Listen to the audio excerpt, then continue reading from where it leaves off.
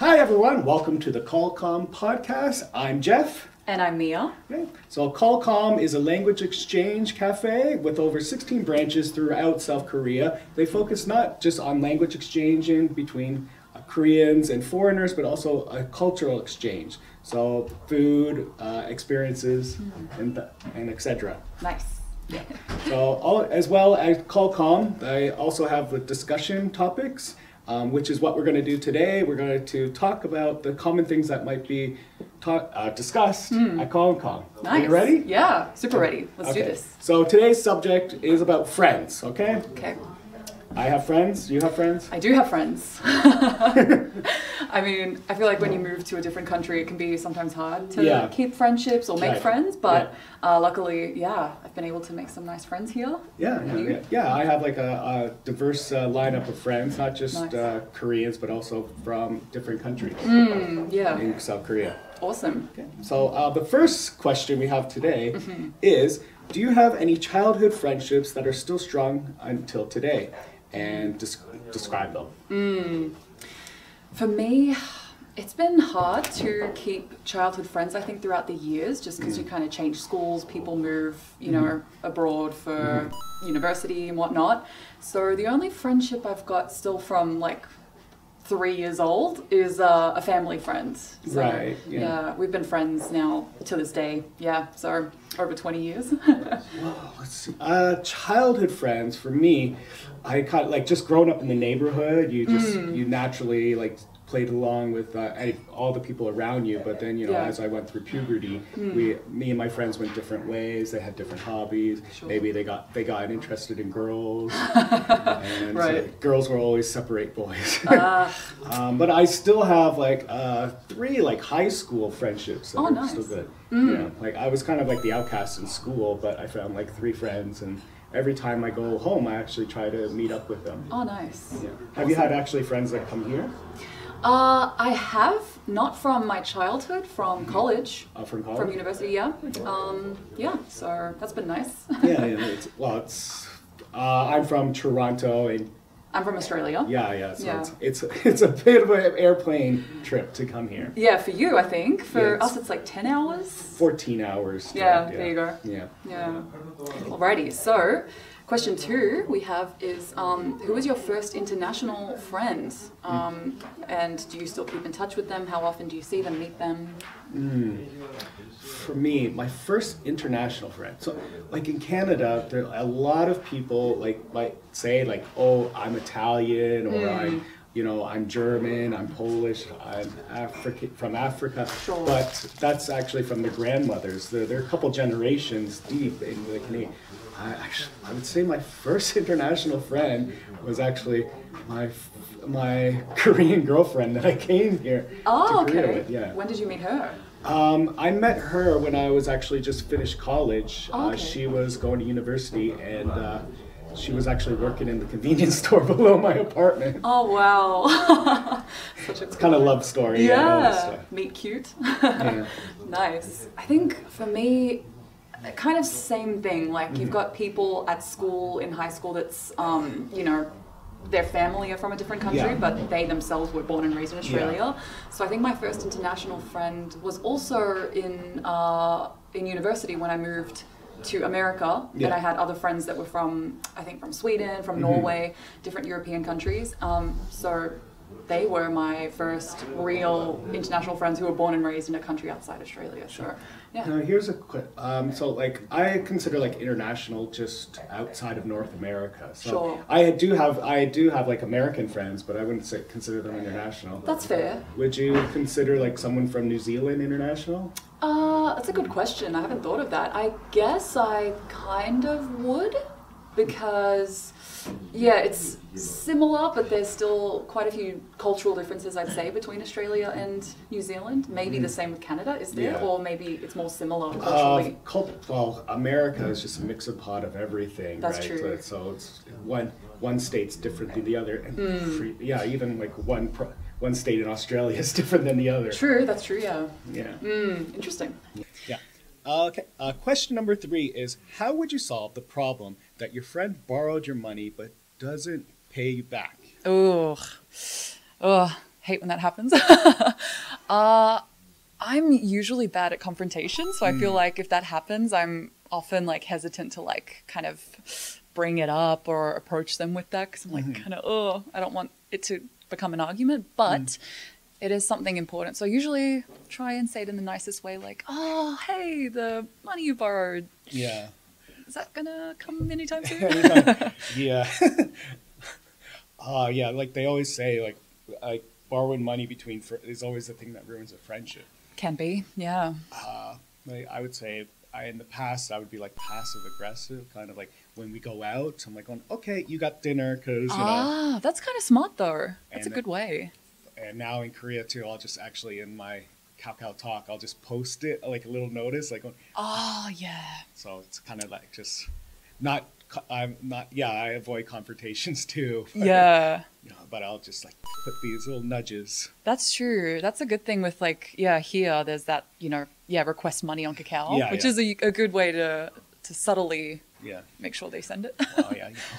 Well, you and I too also work in uh, the entertainment. It's always hard to, to get people to send us money. They always promise it. yeah, that's true. But so far it's been okay, I'd say. Yeah. Yeah. Alrighty. Next question is uh, what is your unforgettable epic moments that you spend with your friends? Hmm. Uh, what do I?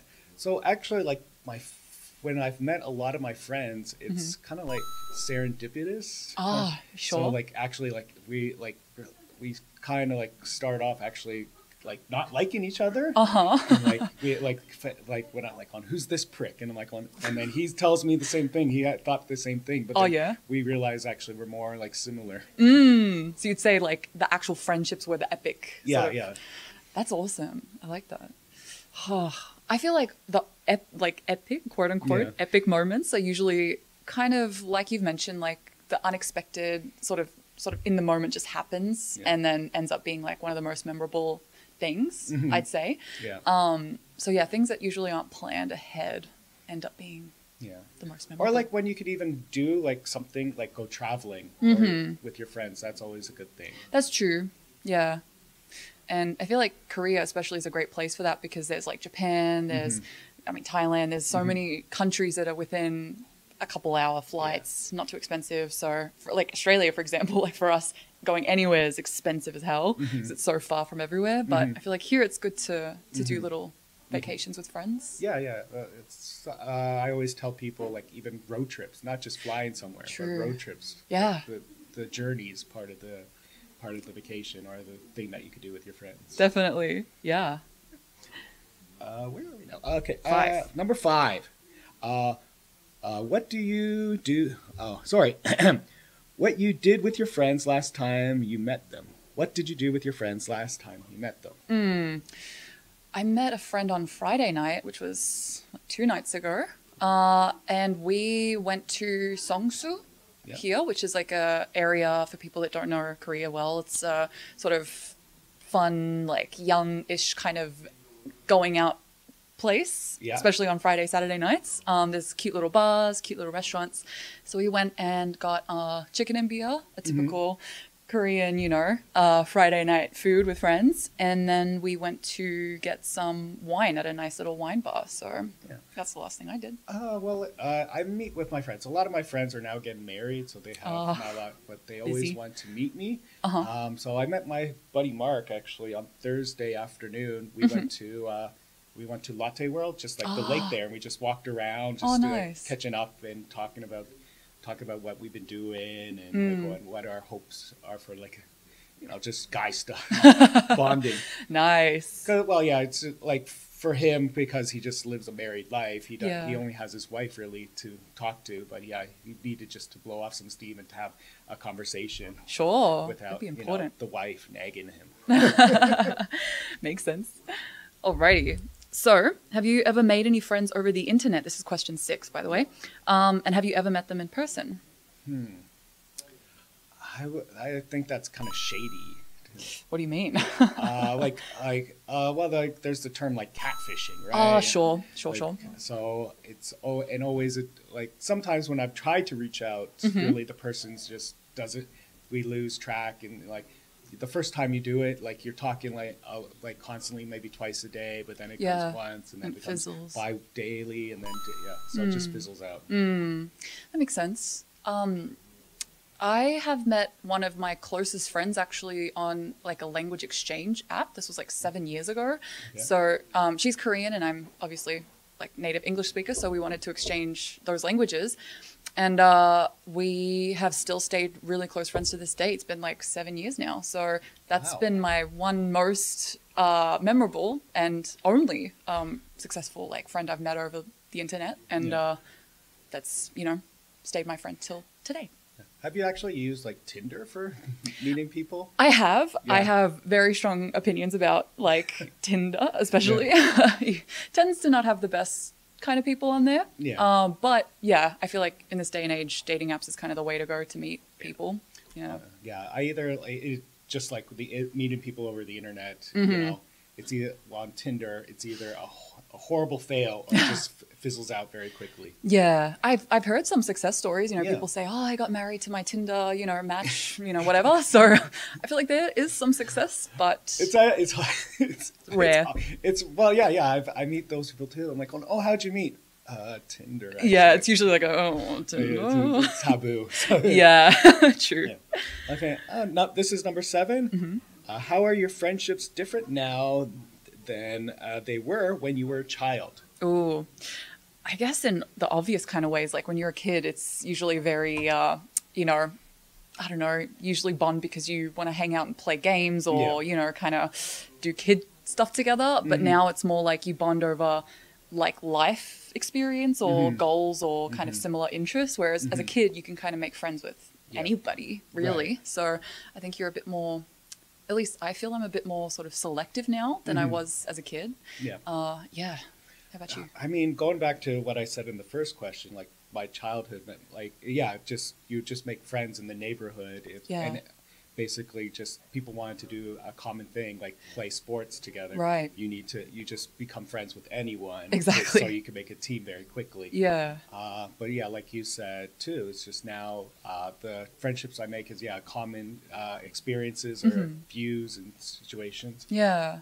Right. as well. Um, this is something strange. So when like when I first came to Korea too, Mhm. like uh, they told me you know Chingu is only people you're the same age as you, Ah, yeah. and I, I call I call bullshit on that because I Yeah. have I have friends that are older and younger than me. Yeah. But then, but recently now, like I've some of the people I've met that are actually the same birth year as me. Mm. We have a quicker bond. Like we Oh. become friends much easier. Oh, interesting. And yeah. it's not just Koreans, but also like my my my good friend Mark, which I said, like Yeah. we just we just kind of bond naturally because we're both from uh, born in the same year, ah, Oh, eighty one. oh, ah, nice. So we have we grew up have listening to the same music. That helps. we watch yeah. the same movies and all that stuff. Yeah.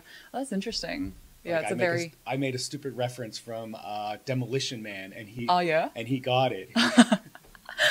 That's yeah. I guess that does help being Yeah. born with uh, you know, or being born in the same age as your friends. Mhm. Um, but yeah. Okay. Question eight. Uh, how do you maintain a good friendship? Ooh, Ooh, that's hard. Um, yeah. Well, it's uh, well, no, not borrowing money or lending money. nice callback to yep.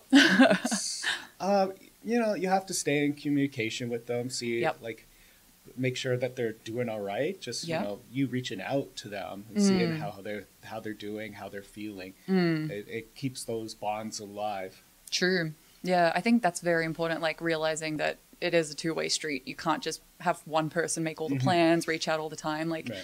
if you realize that you are the one doing that, maybe Mhm. it's not the best friendship. Maybe let Yeah. that go. But yeah, it's definitely uh, a two way street. So Yeah. it's important. Yeah. Mm. Yeah, it doesn't. You don't. Ha- it could just even be a call or even Yep. just a message like, "Hey, doing all right? Haven't talked to you in a while." Exactly. Yeah. And then, but also like on, "Hey, you know, we haven't. I haven't seen you in a while. Let's Mm. just hang out." Yeah. And usually that's also that's like the subtext like, "I got shit to talk about." Right. yeah. Exactly. Yeah. It's usually the case. you, you fake interest, but really you you just wanted to unload. Just have what you've been a free therapist. yeah. Okay. Uh, this is number nine. What is your definition of a best friend? Ooh. That's tricky. Um, I don't know if I've got an exact definition. It's more just like, you know, kind of. If you feel like they're a close friend, then I'd say they're like a best friend. But Mhm. then again, I don't know. I don't. I don't know if there's kind of a criteria per se for me. Yeah. Uh, well, like through my life, like I've had best friends come and go. Yeah, My- exactly. My, my sister's had her best friend since she was in third grade, oh wow. and they they still like hang out like, and I don't like wow. Yeah, that's and like cool. yeah, like even like uh, her best friends, her daughter's godmother, Mm. and like Auntie Jenny and all. But uh, it's yeah, it's well for me it was just hard to keep a best friend, yeah, and also we live this transit life too. exactly. So That's why, yeah, I feel like you meet suddenly like someone, you know, where like I when I came to Korea, like I ended up meeting like a friend that was a Mhm. best friend, I'd say.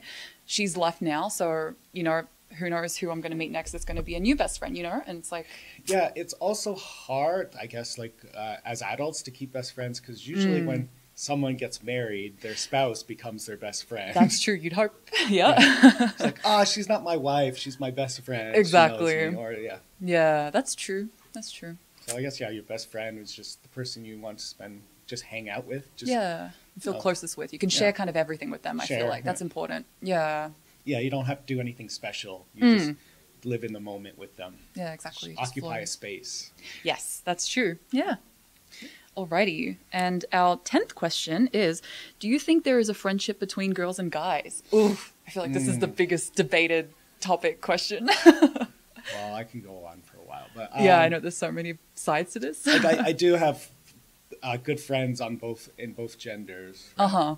Uh, yeah, like I have.